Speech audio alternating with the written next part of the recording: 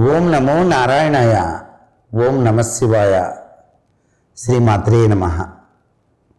సనాతన సంస్కృతి సంప్రదాయంలో మనకి దైవ చింతనలో మనం పాటించేటువంటి నియమానుసారాల గురించి తెలియజేసుకున్నాం. దీపారాధన విధి విధానం తెలుసుకున్నాం.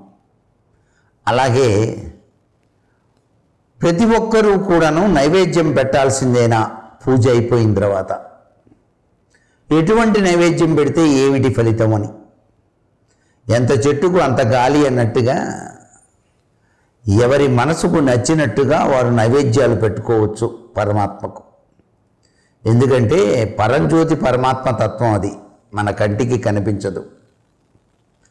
ప్రతినిత్యం కూడాను కాచిన పాలలో పంచదార వేసి నైవేద్యంగా పెట్టవచ్చు. పండు కానీ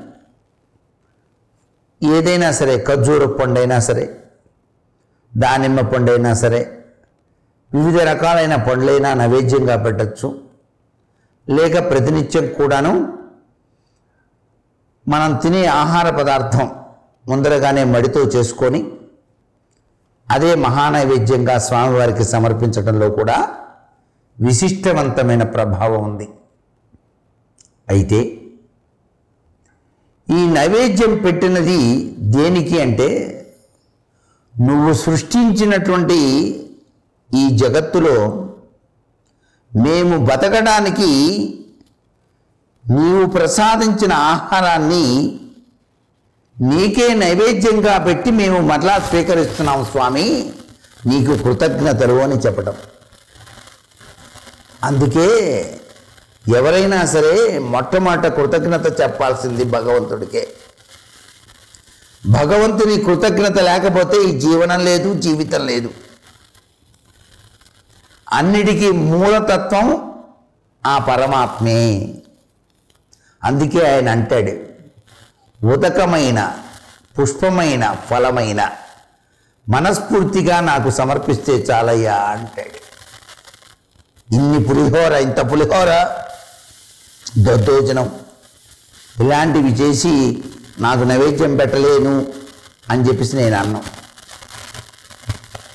ముగ్గిపోయిన అటుకులు కూడా స్వీకరించి అద్భుతవంతమైన ఐశ్వర్యాన్ని ప్రసాదించాడు పరమాత్మ మరి.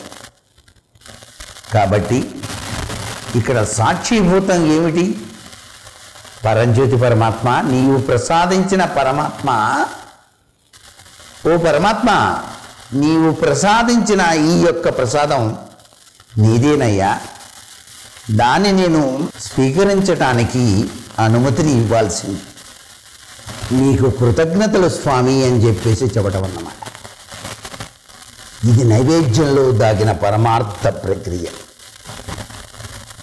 మరి మనం చక్కగా ఆచరించి తరిద్దామా? సర్వే జనా సుఖినో భవంతు.